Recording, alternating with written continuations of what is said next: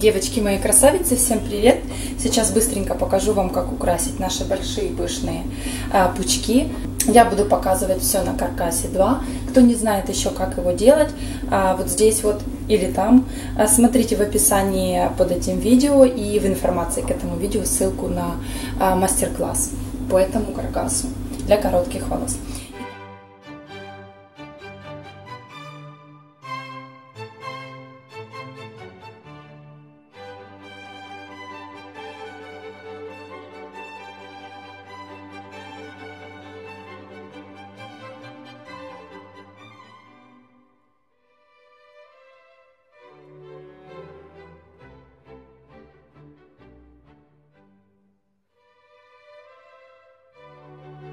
Так как с этой стороны жгут, да, есть какой-то определенный объемчик, то декор мне хочется сделать вот с этой стороны.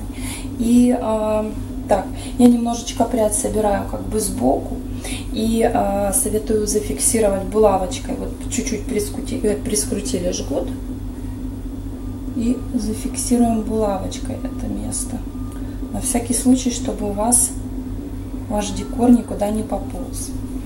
И начинаем его скручивать уже и знакомый нам кренделек. Вот. Если вы мотали в правильную сторону, то хвостик у вас э, будет не с этой стороны висеть, а вот с этой. Как раз я, я думаю, мне кажется, что это то, что нужно. Если у вас палантин без бахромы, вы полностью его закручиваете в цветок, не оставляете ничего свисать, потому что ну, это, возможно, не будет настолько эстетично выглядеть. Да, вот я полностью, если закручу, у меня такой вот будет вид.